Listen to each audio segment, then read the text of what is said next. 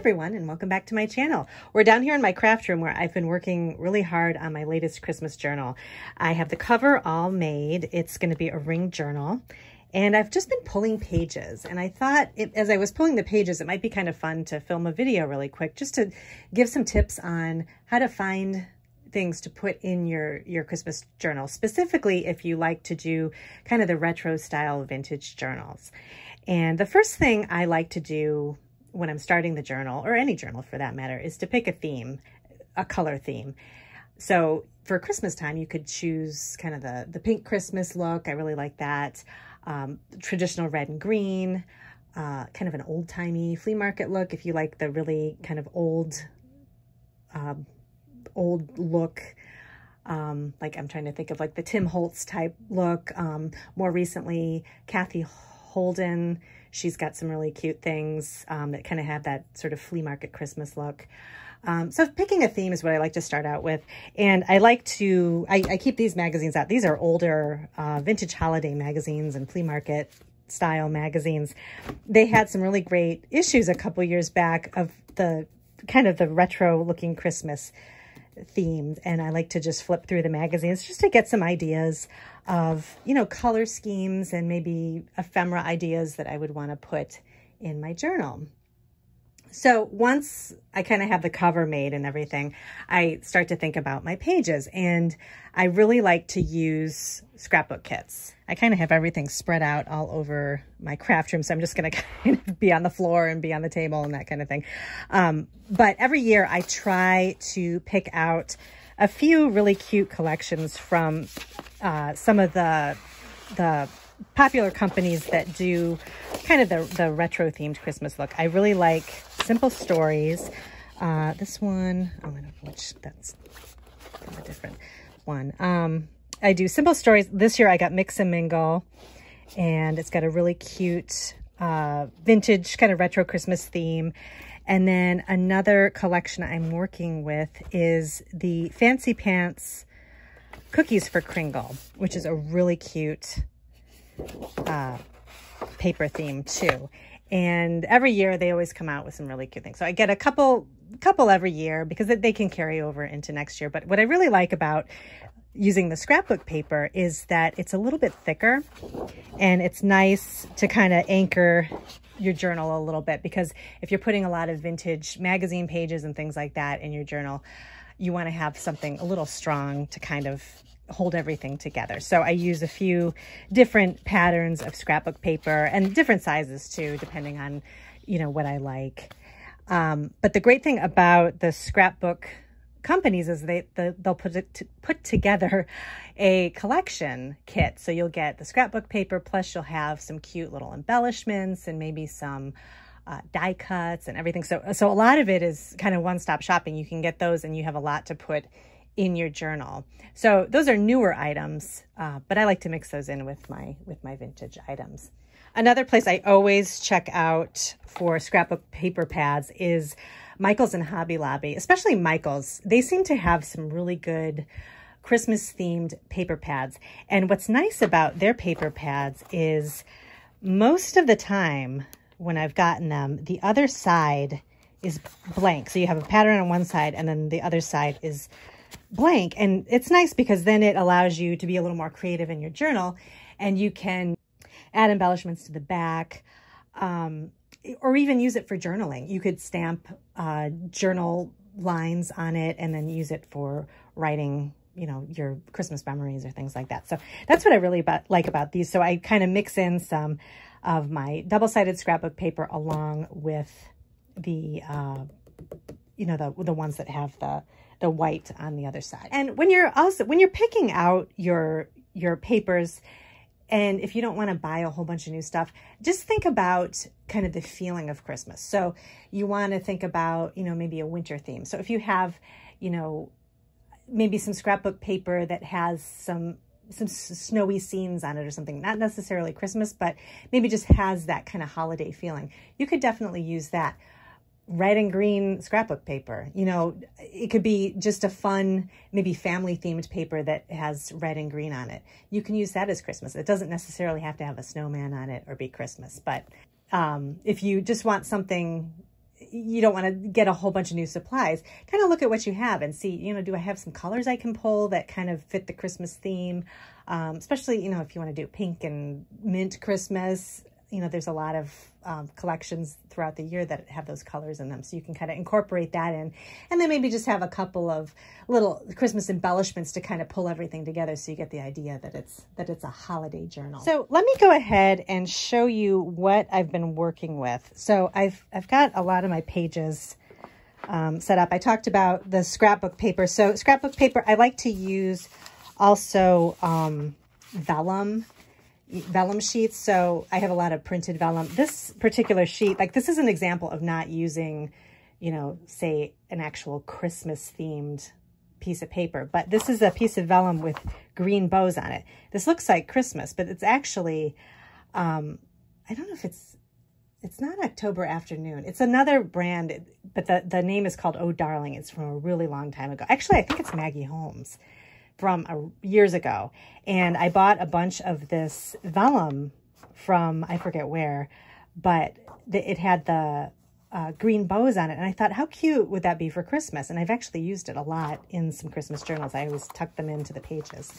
Um, so I've got that um, in addition to my scrapbook pages. Also, for, to kind of pull in all the vintage look for Christmas, I'll add things like um, this, I have an old placemat that I, I trimmed down. And this was, I went thrifting and I found this really great box of napkins, coasters, and these placemats that all have the same theme. And I've been using these placemats a lot for journals because they have, you know, a really great picture of the poinsettia and the season greetings and, you know, depending on the size of your journal, which mine's a little bit bigger this year, I'm going to, um, I just have to cut, trim it down a little bit. And so it's got a nice uh, page I can use for uh, the journal. So that's kind of the, the scrapbook type pages. Um, another thing I like to use is uh, different types of old magazines. So I'll go to thrift stores, antique malls, things like that. And I always look in their magazine section and I'm, I'm sure, I make sure that I pick up a few. They're usually very inexpensive. And I happen to find a lot of uh, December, uh, the month of December magazines, and then also actual Christmas themed publications. So this one is from Family Circle. This is from 1979. So this is perfect. So you could grab um, a couple of pages from this magazine using, you know, maybe the recipes, some of the crafts, uh, pictures of the food, uh, you know, anything like this. And this, I mean, this will last you for many years or many or make you can make many journals out of this. So um, christmas themed magazines vintage magazines. Um, i also have this christmas catalog from avon which has some just some more craft ideas for christmas and christmas photos uh, pictures of food recipes that kind of thing. So catalogs are really good too to think about. Um, and another thing with the catalogs, I have these over here from Montgomery Ward and Sears. These aren't necessarily Christmas themed, but some of them are from the winter time. So they have like a winter sale or it's uh, the fall and winter edition of the catalog. A lot of times in these catalogs, you can find photos of things that seem like winter. Uh, let me show you really quick what I mean. Seem like winter, but seem like kind of Christmassy. Um, I actually found, the, oh, this is from, I think, one of the Sears catalogs. This is a picture of a fireplace. So that's very cozy and Christmassy looking. There's nothing that really says Christmas on here, but it kind of gives you the look of Christmas. So this is one of the pages I'm going to include in my journal. And then the other side is a picture of some fireplaces from the, I think they're from the 60s or 70s. So um, that's another um, thing to think about when you're looking through magazines and catalogs. It doesn't necessarily have to be actual Christmas, but something that feels like Christmas. Blankets, um, hats, gloves, boots, pictures of those. Those would be great to throw in a journal for, for your uh, Christmas theme. Um, some other things, let's go back down to the magazines. Other things I like to collect too are, um, you can find Christmas craft magazines specifically. And these are nice because um, you know, they have more Christmas crafts in them too. So, um, and a lot of times they're not super thick, so you can, they're pretty inexpensive. So you can find some pages from here. You know, if you have like an old catalog, like a baking catalog, a lot of times they'll have themes within the catalog, you know, for birthdays, Christmas, that kind of thing. So you can pull a couple of Christmas pages and add those to your journals. And those are kind of fun to, to put in as well. I also like to add uh, book pages, actual, you know, storybook pages. If you have some old Christmas books, those are fun to put in. Uh, I'm trying to think of some other things I like to add.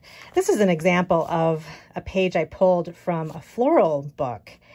Um, it's a picture of pine, a pine tree or pine branch, and you know nothing on it says Christmas, but it kind of implies Christmas trees. So this is one of the things I'm adding. There's also some fun um, if you if you go into uh, cookbooks.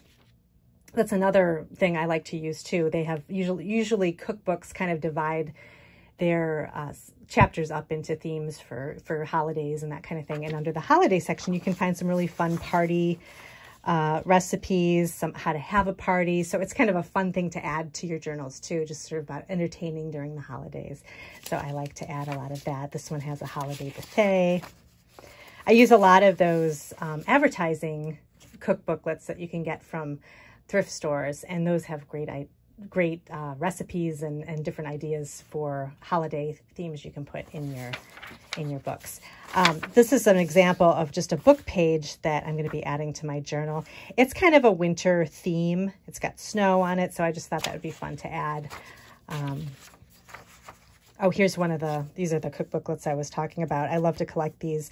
And this is an actual um, Christmas one, and this is actually I'm going to include this whole thing in my journal because I think it's fun to to flip through and kind of look at all the fun old-fashioned recipes. But but you could use, um, you know, just a page or two from these and add them to your journal as well.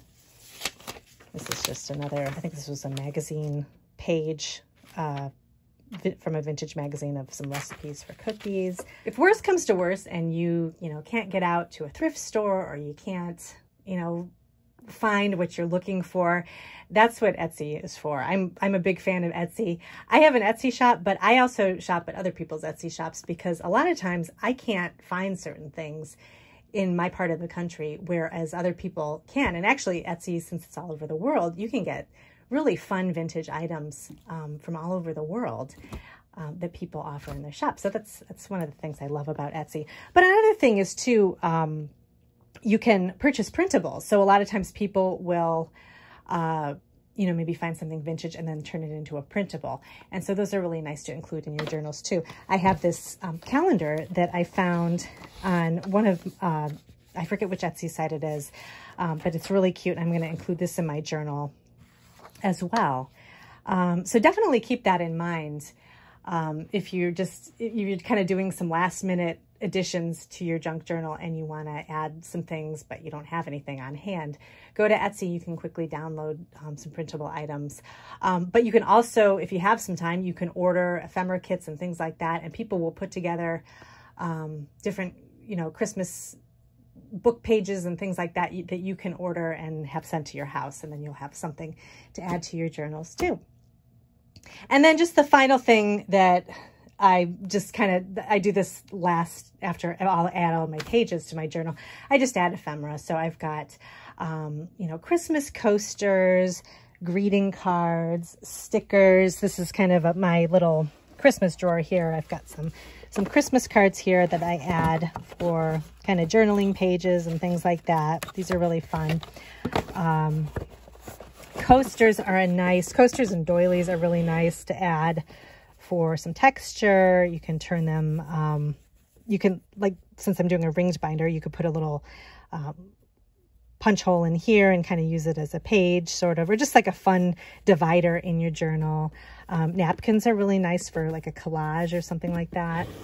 Um, what else do I have? I have some decals, some stickers, um, vintage wrapping paper, fabric, all these little types of things can add some really nice touches to your Christmas journals. Oh, one more thing I really like. Well, and if you like to collect these cards like I do, um, I love these recipe cards. And a lot of times these vintage recipe cards are divided up by season and you can find a holiday section in the cards and they're great for adding to journals. And I'm actually going to add a couple of these cards to my journal too. So, so just some ideas. And then, um, you know, the usual kind of game pieces and things like that. When I'm adding, um, you know, bingo cards and things to my journal, I think about using, you know, the Christmas colors. So for instance, I have this pile here. So this is a green bingo card, kind of a minty color. Um, I've got some October afternoon ephemera that I'm going to add. Um, just some tabbed index cards that kind of go along with my um, cover color theme a little bit. Um, another idea, if you have double-sided scrapbook paper and you really only just like one side of it, like for this one, um, this was from, I think, October afternoon. It's a Christmas card list. It was like a cut apart thing on a page. The other side had some really bright red pattern that I didn't really like. So I ended up, one side I have the Christmas card list, and then the other side I glued some vintage Christmas paper or Christmas wrapping paper on the back. So it makes a nice little page that you can add to your journal too, or little pocket or how, you know, however you're making your journal. So anyway, just this is kind of a real low-key explanation of how I pick things for my journal. I'm going to have a blog post too that's going to list everything and kind of give you a rundown of where I find things. So you can head over there and I'll put some links too um, for some ideas on, on where to find certain things. But let me know if you have any questions. I am going to finish up this journal hopefully in the next couple of weeks and then I'll do a, a flip through and I may uh, put it in my shop too. Um, so we'll see how it ends up turning out.